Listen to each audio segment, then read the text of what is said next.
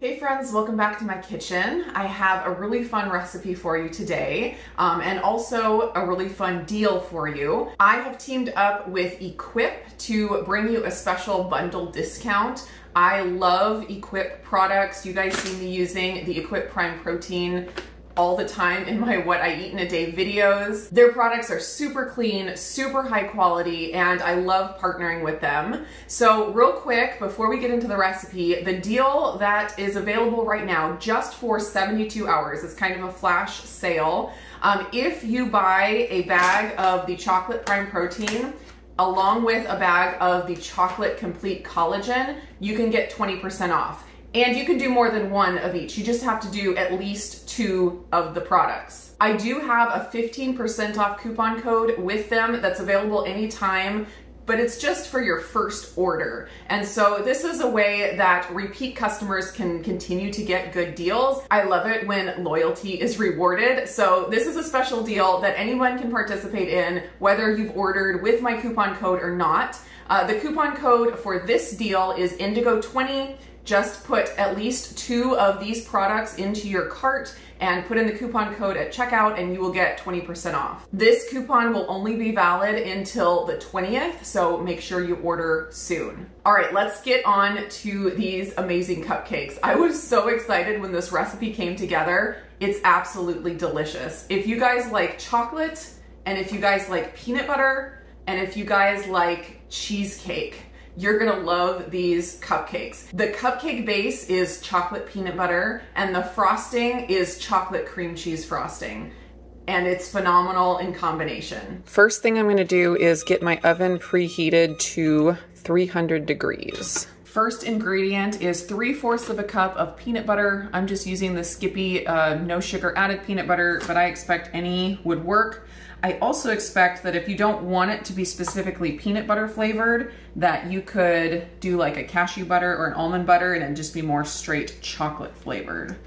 Three fourths of a cup is 192 grams. I always use my kitchen scale for this kind of thing because a measuring cup coated in peanut butter is no fun to clean. So I set my container on the scale, zero it out, and then take out the peanut butter until I have minus 192 grams on the screen. And that is my baking tip for the day. Next thing is gonna be one teaspoon of vanilla extract and six tablespoons of allulose, and that is 54 grams.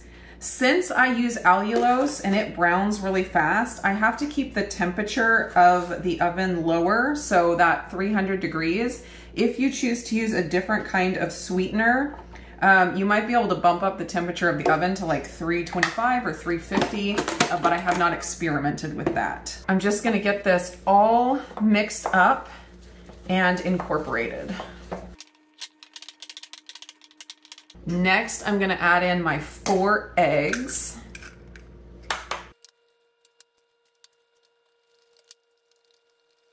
All right, it doesn't act like it's gonna mix in at first, but if you just keep going, eventually it'll mix in and become smooth.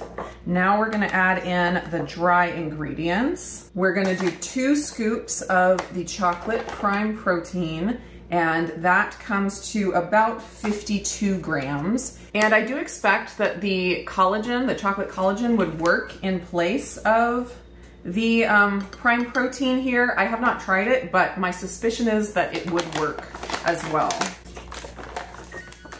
My oven is preheated, perfect. Next, I'm gonna add one teaspoon of baking powder and one half teaspoon of Redmond real salt.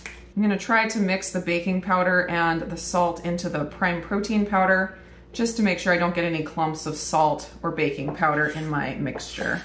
And then gently mix it all together. All right, that is all ready to go into the muffin pan. I am going to line my pan with, I'm gonna line my pan with papers and I am also going to spray with some avocado oil spray.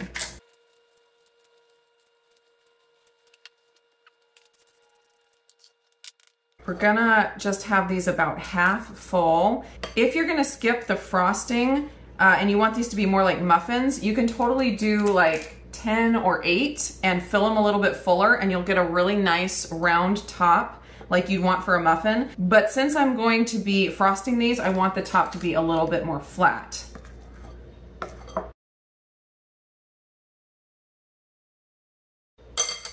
All right, I always fill my cupcake liners too full and have to readjust. Anybody else? All right, I am gonna go ahead and throw these in the oven for 18 to 20 minutes.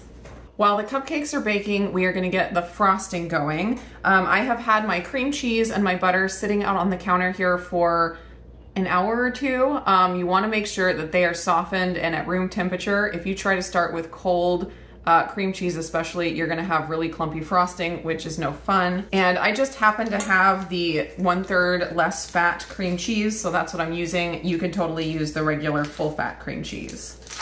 We're gonna do four ounces, which is half the block, and two ounces of butter, which is half the stick. I'm gonna take this over to the KitchenAid and get it whipped up, and then we'll add the rest of the ingredients. All right, now I'm gonna add my powdered allulose and super easy to make powdered allulose if you can't buy it already powdered. I just put it in my Vitamix, whizzed it up, and it's powdered allulose. We're gonna do one cup, which is 144 grams. Next, we're gonna do two scoops of the chocolate complete collagen, and that is about 38 grams because each scoop is 18.7 grams. And last ingredient is one teaspoon of vanilla. Now my butter is salted, so I did not add any salt. If you use unsalted butter, maybe add a pinch of salt here. All right, just gonna get this whipped up until it looks like frosting.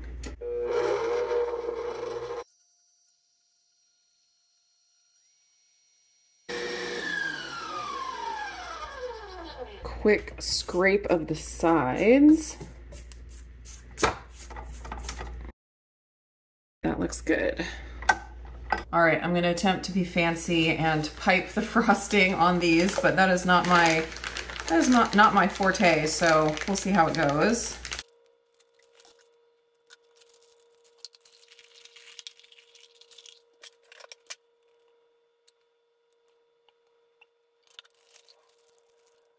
All right, I'm gonna stick this in the fridge since it's warm in my kitchen right now until the cupcakes are done and completely cooled. Cupcakes are done. Don't they just look perfect? Um, a toothpick came out almost clean. I think if you cooked them all the way until a toothpick came out completely clean, they'd be too dry. So they shouldn't be gooey, but a little bit of like crumble on the toothpick is totally fine. I'm gonna pull them out of the pan and let them cool on my wire rack and make sure they're completely cool before I attempt to frost them.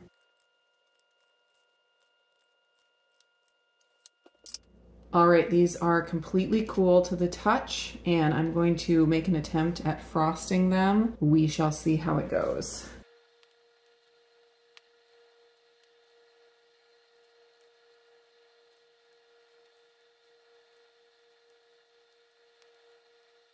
Perfect. I just have a tiny bit left over. It was perfect. All right, pretend these are keto sprinkles. For me, sprinkles are one of those things um, in the category of with a small enough serving, anything can be keto. Uh, but if you have some keto sprinkles, even better. I know Super Fat by Perfect Keto used to have some keto sprinkles, but I don't think they're available anymore. Um, so if anyone has any ideas of keto sprinkles, uh, I would love to hear about it. I feel like that would be a really great business to start, a cake decorating, a keto cake decorating uh, type business. I think these turned out so super cute. And let me tell you, they are absolutely delicious. I enjoyed my test batch for several days. It was such a great treat. All right, thank you for hanging out in the kitchen with me today. I hope you guys enjoyed the video. Don't forget to head over to Equip to pick up your Chocolate Lovers bundle. Use the discount code INDIGO20 for 20% off. Thanks for watching. I'll see you in the next one.